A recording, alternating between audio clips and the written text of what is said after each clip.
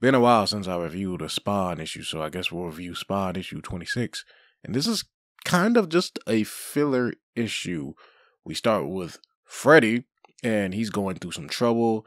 And so the bums get together and introduce Freddy to Spawn and tells him about the trouble that he's having. And Spawn says, Y'all got to handle this. I'm not here to just handle all your problems, this, that, and the other. And I kind of get a little bit where Spawn is coming from. Like, I don't know what but she can do in this situation. Um, this isn't like a demon coming or something. It's he can't provide for his child, and that's why F- Freddy is desperate. I understand being desperate, but honestly, what the fuck is Spawn gonna do? What's he gonna do? This is a court order. I mean, I guess he could mind control. I guess he could do that. So I guess he could do something. But it is kind of a why y'all asking me for this? And I get where he's coming from, but I also get where Cog is coming from. Like he didn't have to be so much of a dick about it because Spawn's pretty much just like, hey, handle this shit on y'all own. Get the fuck out my face.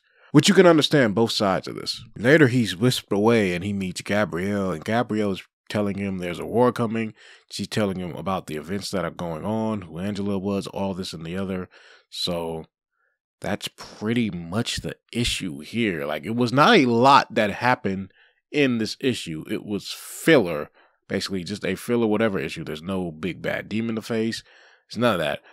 Later on, Spawn is drinking, having a good time, and the bum reveals that Freddy, the dude who was trying to get custody of his daughter, is dead. He committed suicide because of the court ruling because he couldn't take care of his child and he was trying to get Spawn to help him. And he was in a tough situation. So that's the end of the issue. Like I said, filler.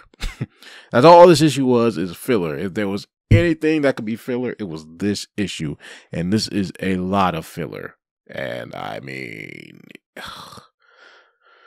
I don't even know how to like rate this comic. Like, I know I do the rating for the comic after, but it's so hard to do this. But I'm going to try. I'm going to give it a 5 out of 10 because it's filler. It's not like bad or good, it's just there.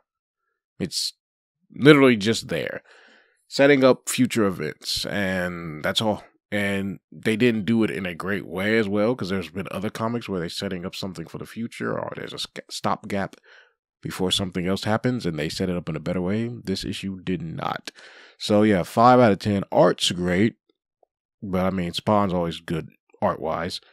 Uh, so you know, the art's giving it a couple of good points. Story wise, it was nothing here. Nothing big, just filler. So yeah, uh, as for the issue and it coming out, um, it wasn't that difficult getting through this issue. Most of the people I had were able to get there. I think Cog, we had a little bit of an issue getting his lines, but the issue went really well. So pretty easy issue overall.